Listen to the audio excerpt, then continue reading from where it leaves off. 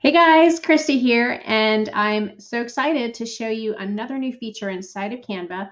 And this one is going to enable you to remove text from a photo. And I'll show you an example because sometimes we find a really nice photo, but then it's got text in it.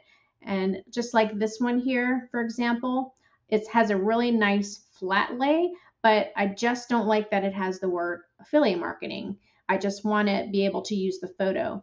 So now there is a way to do that. So you'll click on the photo, you're going to click on edit photo, and right here on the left under Magic Studio, you're going to click on grab text.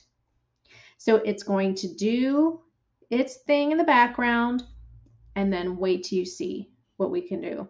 Okay, so it's done processing and look at this now. It has, bec- it's this whole separate entity now. So I could just, I could move it up if I wanted to and just keep the words, or I could just delete it and now just keep the image that I wanted. And I can put my own text there. So isn't that amazing? So any picture now that you see, you don't have to skip over it if it has text on it, if it has, uh, you know, the look and feel that you want.